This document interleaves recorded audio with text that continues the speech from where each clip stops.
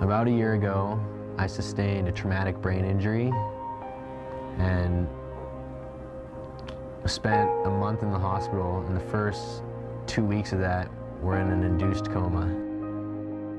When I woke up from that, I was entirely paralyzed. All I had was the movement of my eyes.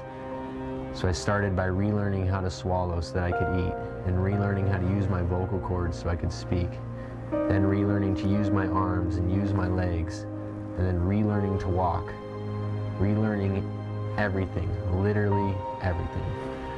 I was right where I wanted to be in life, being one of the best skiers in the world, overly confident in your skiing, overly confident in yourself, like that's where I was.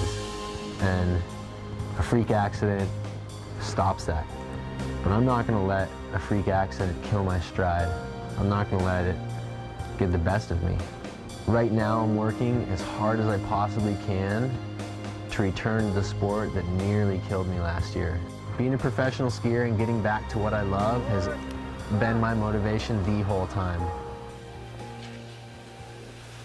Yeah! Yeah, buddy. Yeah. Gosh. Thanks and praise unto the Most uh, High, King Selassie. Yeah, we're living our life, taking it easy. We're getting there. Okay. Woo! You can chase your wildest dreams, swim the ocean shores, sail up into the sky. As simple as it seems, there's so much more. Surely worth giving it a try. Confident in yourself, there's much to accomplish, never fail.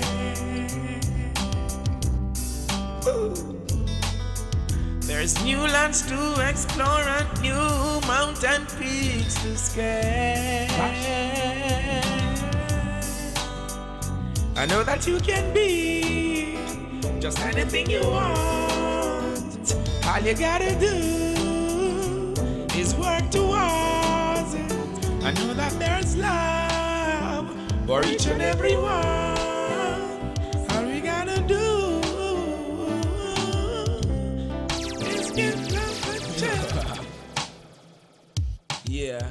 Now that I'm myself and very fortunate for being that, I want to become uh, the professional skier that I was. I want to become as good at skiing as I was and get better. Only the things you truly love will you pursue with that energy. And for me, my family, my friends, and skiing, that's it for me. That's my life. The joy I get from skiing, that's worth dying for. You can chase your wildest dreams, swim the ocean shores, sail up into the sky.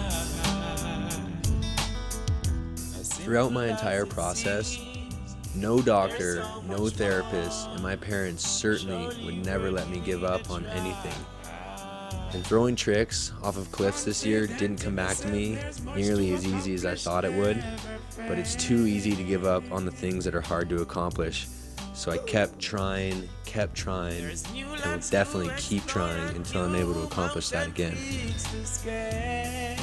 Everything that has come back to me has come back at an exponential rate, so I know it will happen. I'm confident that it will happen. Take a little bit of time. It's going to take a lot of effort, a lot of energy.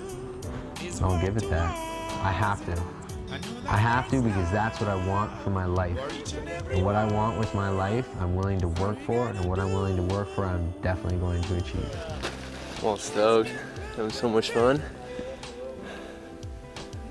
Back on the shred mish. That's good, eh? Hell yeah. Super good. Fun times.